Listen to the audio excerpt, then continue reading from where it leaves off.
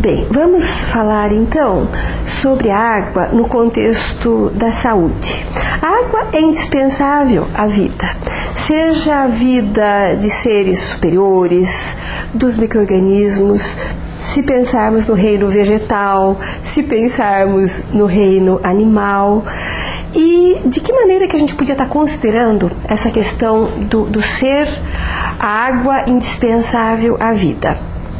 Trazendo bem ao nosso mundo mais próximo, a gente pode estar tá pensando na questão do eixo saúde e doença, tá? E se pensarmos particularmente enquanto saúde, sem água você não vai conseguir ter qualidade sanitária. Você não vai ter então a prevenção da doença. Uh, você vai ter chance sem uma devida educação sanitária da população, sem os cuidados sanitários, crescimento de insetos que vão propagar uh, parasitas que vão propiciar a doença. Isto então envolve basicamente o emprego da água, seja no sentido dela propiciar o crescimento desses seres indevidos, seja no sentido de eliminá-los, de prevenir esse tipo de coisa. Bom, outro fator indispensável à vida é uma boa alimentação. Se você pensar na alimentação, alimentos limpos, alimentos cultivados com bons uh, procedimentos desde o momento da agricultura, uh, tudo isso depende estritamente de uma água e uma água de boa qualidade. Imagina uma criança comendo uma fruta, uma maçã, qualquer uh, fruta, sem que ela seja lavada. Isso vai estar tá levando à instalação de doenças e uma série de outras coisas. Bem, então, isso uh, na alimentação, isso nós estamos pensando na prevenção da doença. Vamos pensar num outro aspecto. Vamos pensar que, por algum motivo, infelizmente, não se pôde prevenir a doença e aqui nós já estamos pensando então numa patologia instalada. Então nós estamos pensando uh, no paciente. Esse paciente, numa condição ideal, vai estar recebendo medicamentos. Vamos então nos dirigir a como é que se obtém os medicamentos e por que que nesse caso também a água é imprescindível. Bem, em qualquer das operações unitárias em que você pensar, seja a preparação dos materiais, a limpeza de ambientes, de materiais destinados à obtenção de um medicamento, a água é indispensável.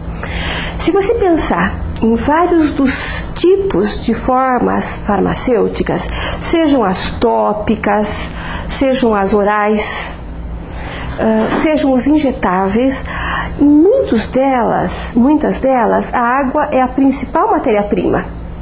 Como é que tem que ser essa matéria-prima para que o próprio medicamento não cause doenças?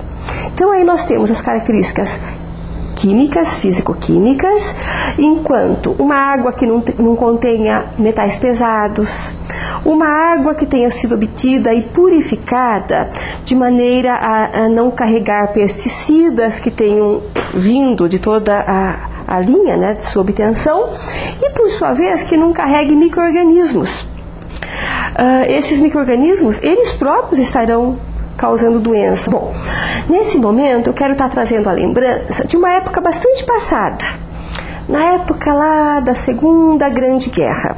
Naquela ocasião, uh, muito, muito se trabalhou com medicamentos parenterais. Porque os soldados, os soldados americanos, os soldados do mundo todo, uh, sofriam acidentes gravíssimos, acidentes provocado pelo, provocados pelo inimigo, e eles precisavam das administrações parenterais de uma maneira muito intensa. Então, muitos, muitos dos soldados morriam pela chamada febre das injeções. O que, que era isso?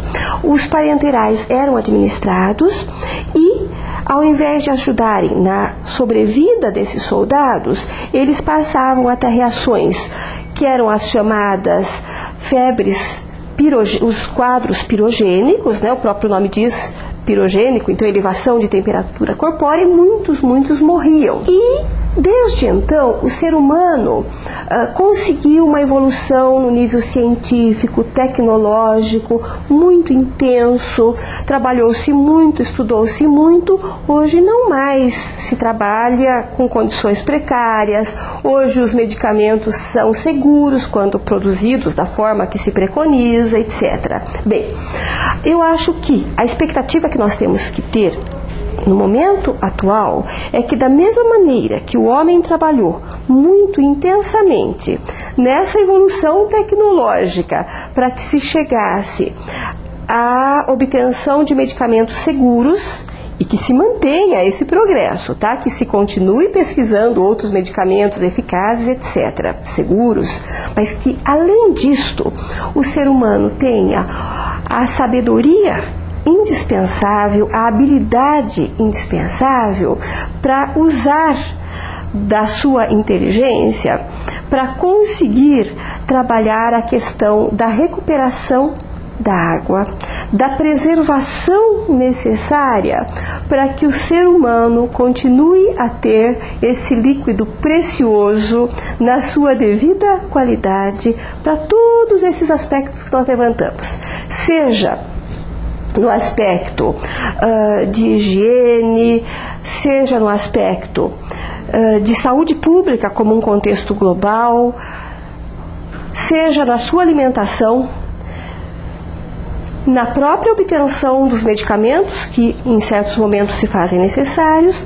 e na qualidade de vida com toda essa beleza uh, que de forma inerente a água pode proporcionar, mantendo na plenitude o reino vegetal e animal, dentro do qual se aloca o homem. Eu acho que é isso que eu posso falar de mais importante sobre a água.